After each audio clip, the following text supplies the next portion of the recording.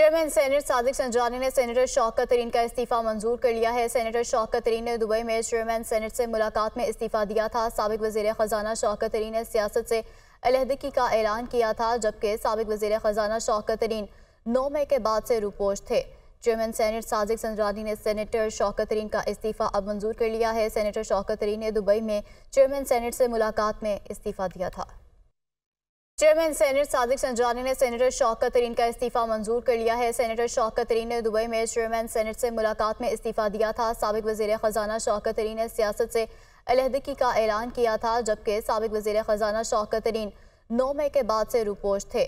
Chairman senate Sajik संजानी ने senator Shaukat तरीन का इस्तीफा अब मंजूर कर लिया है। सेनेटर शौकत तरीन ने दुबई में चेयरमैन सेनेट से मुलाकात में इस्तीफा दिया था।